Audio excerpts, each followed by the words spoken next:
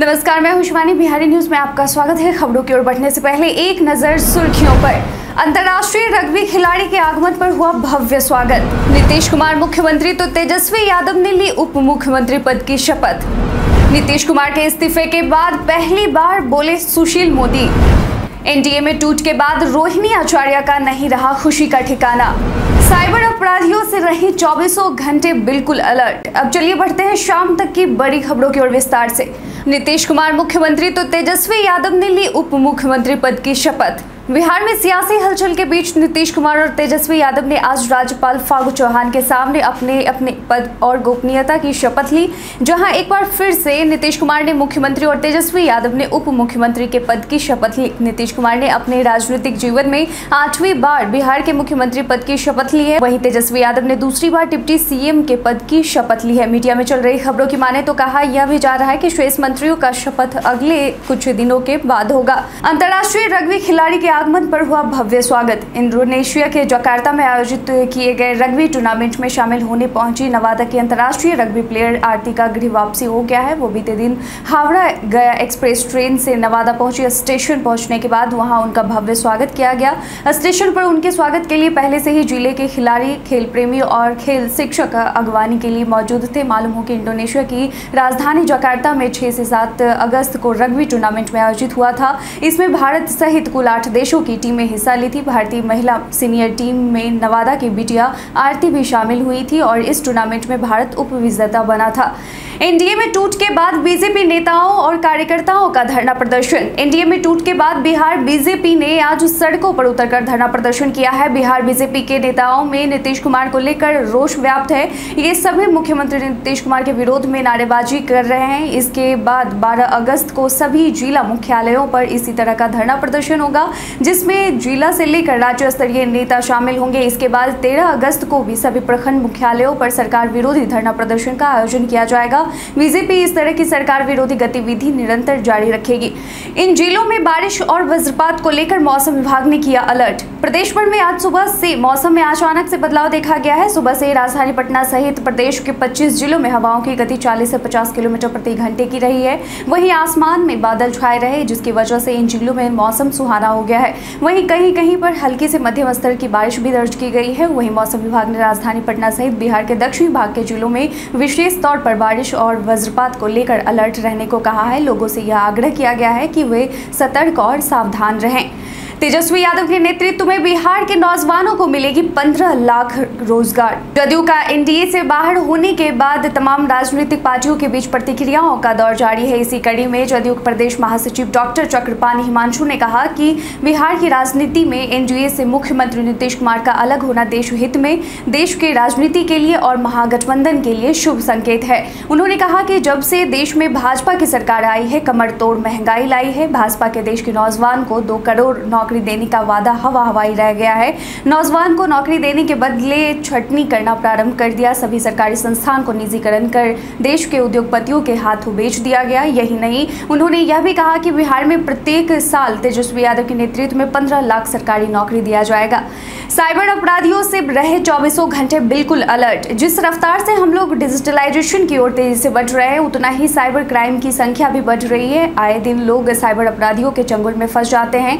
कोई भी फर्जी सोशल मीडिया अकाउंट बनाकर पैसे की डिमांड करने लगता है। यहाँ तक कि एटीएम में गड़बड़ी कर पैसे निकाल लिए जाते हैं। इस बार तो साइबर अपराधियों ने हद ही कर दिया। मुजफ्फरपुर के डीएम का ही फर्जी व्हाट्सएप अकाउंट बना डाला, जिसकी शिकायत दर्ज की गई है, जिसमें कहा गया है कि जिलाधिकारी प्रणब कुमार के फ़ोटो का फर्जी इस्तेमाल करके दो अलग अलग नंबरों का इस्तेमाल कर ठगी करने की कोशिश की गई है। आपको भी सलाह दी जाती है कि आप भी इस तरह की ठगी से बचें। नीतीश कुमार के इस्तीफे के बाद पहली बार बोले सुशील मोदी। मुख्यमंत्री द्वारा इस्तीफा देने के बाद भाजपा के नेताओं की भी लगातार प्रक्रिया आ रही है। इस बीच पूर्व उप मुख्यमंत्री सुशील कुमार मोदी ने नीतीश कुमार के उस आरोप पर पलटवार करते हुए कहा, जिसमें नीतीश कुमार ने कहा था कि भाजपा जदयू के विधायकों को तोड़ना चाहती थी। इस पर सुशील मोदी ने ट्वीट करते हुए लिखा कि यह सरासर सफ़ेद झूठ है कि भाजपा ने बिना नीतीश जी की सहमति के आरसीपी को मंत्री बनाया था। यह भी झूठ है कि भाजपा जदयू को तोड़ना चाहती थी, तोड़ने का बहाना खोज रहे थे। वहीं उन्होंने कहा कि भाजपा 2024 से लोकसभा चुनाव में प्रचंड बहुमत से आएगी। आईजीआईएम इसके बाद आईजीआईसी में पहली बार शुरू हुई ओपन हार्ट सर्जरी। आईजीआईएमएस के बाद इंदिरा गांधी हृदय रोग संस्थान आईजीआईसी में पहली बार ओपन हार्ट सर्जरी बीते दिन मंगलवार से आरंभ हो गई है। पहली सर्जरी वैशाली ज़िले के महनार निवासी 35 वर्षीय युवक की हुई। उसका ओपन हार्ट सर्जरी के माध्यम से आर्टियर सेप्टल डिफेक्ट ऑपरेशन किया गया। इस सुविधा से बिहार में आम लोगों को हृदय की समस्याओं से जूझ रहे जिन्हें ओपन हार्ट सर्जरी की ज़रूरत है, उन्हें काफ़ी फ़ायदा होगा। खास बात यह है कि जिस पहले मरीज़ का ऑपरेशन किया गया, वह निःशुल्क हुआ आयुष्मान भारत योजना के तहत उपचार किया गया। नीतीश कुमार चाहते हैं राजद को निगल जाए। जदयू के दुर्विरोधी कहे जाने वाले राजद के साथ जाने के आखिर। नीतीश कुमार की मनसा क्या है? इस सवाल पर बिहार की जनता के अटकले भी तेज हैं। इसका जवाब हर कोई जानना चाहता है। इसको लेकर बीजेपी नेता संजय जायसवाल ने खुलासा किया है। संजय जायसवाल का दावा है कि नीतीश कुमार एक सोची समझी चाल के तहत राजद संघ सरकार बनाने को राज़ी हुए हैं, क्योंकि नीतीश चाहते हैं कि वे राजद को निगल जाए, यानी राजद का विलय जदयू में कर ले या राजद पर कब्जा कर ले। संजय जायसवाल ने आज पत्रकारों से बात करते हुए कहा कि नीतीश कुमार और जदयू के अध्यक्ष ललन सिंह ही तेजस्वी यादव के मॉल घोटाले के कागज़ दिखाते थे, उन पर कार्रवाई करने की बात कहते थे, लेकिन आज नीतीश और ललन उसी तेजस्वी के साथ चले गए हैं। इसका एक बड़ा कारण है कि नीतीश चाहते हैं वो राजद को निगल जाए। बीजेपी के धरना प्रदर्शन पर राजद नेता का तंज। महागठबंधन के खिलाफ बीजेपी के अध्यक्ष डॉक्टर संजय जायसवाल, पूर्व डिप्टी सीएम तारकिशोर प्रसाद, रेणु देवी, शाहनवाज हुसैन, रामसूरत राय समेत सभी नेताओं ने आज धरना प्रदर्शन किया। इस दौरान बीजेपी पर तंज कसते हुए राजद नेता भाई वीरेंद्र ने कहा कि बीजेपी को धरना देने के लिए रखेंगे। बिहार की जनता को बहुत लूटा है, बहुत भ्रष्टाचार किया है। लोगों को रौंदा है, अब सही ढंग से सरकार चलेगी। बीजेपी ने बहुत तंग किया है, लोगों को बहुत परेशान किया है। महागठबंधन की सरकार बनने से बिहार की जनता बेहद खुश है। एनडीए में टूट के बाद रोहिणी आचार्य का नहीं रहा खुशी का ठिकाना। एनडीए में टूट के बाद जदयू का राजद के साथ सरकार बनाने की खुशी। लालू यादव की छोटी बेटी रोहिणी आचार्य में कुछ विशेष दिख रहा है। बीते दिन मंगलवार से ही एनडीए में टूट के बाद वो लगातार ट्वीट पर ट्वीट कर रही हैं। रोहिणी आचार्य ने एक ट्वीट में लिखा कि एक बार फिर सबको देना है सम्मान। लालू जी का यही है पैगाम। वहीं बीजेपी द्वारा दिए जा रहे धरने को लेकर रोहिणी आचार्य ने ट्वीट कर लिखा कि तेजस्वी ने उन्हें बना दिया धरनावीर युवाओं को जो बना रहे थे अग्निवीर, वहीं बेरोजगार युवाओं को लेकर उन्होंने लिखा कि बेरोजगार युवाओं की लगी हाय, बिहार से बीजेपी का हो गया टाटा बाय बाय। देश भर में आए बीस हज़ार से कम कोरोना के मामले। केंद्रीय स्वास्थ्य मंत्रालय द्वारा आज यानी मंगलवार को जारी की गई कोरोना रिपोर्ट के अनुसार पिछले 24 घंटे में कोविड 19 के सोलह हज़ार सैंतालीस नए मामले सामने आए हैं। वहीं बिहार की बात करें तो यहाँ बीते दिन जारी किए गए पिछले 24 घंटों के आंकड़ों के अनुसार कोरोना संक्रमण के मामले में मामूली कमी आई है, जिसके बाद राज्य भर के कुल एक सौ तैंतीस कोरोना के नए मरीज़ मिले हैं। वहीं राजधानी पटना की बात करें तो यहाँ सबसे अधिक तैतालीस नए मामले सामने आए हैं। वहीं बीते दिन पिछले चौबीस घंटे में कुल एक लाख तेरह हज़ार चार सौ तिरपन कोरोना की सैंपल की जाँच की गई है, जहाँ 160 मरीज़ ठीक होकर घर भी वापस लौटे हैं। इस खिलाड़ी ने बताया, पाकिस्तान आखिर क्यों वर्ल्ड कप में भारत से लगातार हार रही थी? पिछली बार जब भारत और पाकिस्तान दोनों टीमें आमने सामने हुई थी, तब पाकिस्तान ने भारत को 10 विकेट से हरा दिया था। साल था, दो हज़ार इक्कीस, वेन्यू था, यही दुबई और टूर्नामेंट था टी वर्ल्ड कप। इससे पहले टी वर्ल्ड कप और 50 ओवर वर्ल्ड कप को मिला दे तो 12 बार दोनों टीमों का सामना हुआ था और एक बार भी पाकिस्तान जीत दर्ज नहीं कर सकी थी। पाकिस्तान के मध्यक्रम के बल्लेबाज शोएब मकसूद ने बताया कि आखिर पाकिस्तान की टीम के साथ ऐसा क्यों होता था। क्रिकेट पाकिस्तान डॉट कॉम पर बात करते हुए मकसूद ने बताया कि विश्व कप मैचों में भारत के खिलाफ हरी शर्ट की लगातार हार का कारण यह है कि पाकिस्तानी टीम अति उत्साहित हो जाती है। हालाँकि हाल के दिनों में हमारी टीम ने भारत पाक मैचों को सामान्य रूप से व्यवहार करना शुरू कर दिया है और इससे हमारे प्रदर्शन में भी सुधार हुआ है।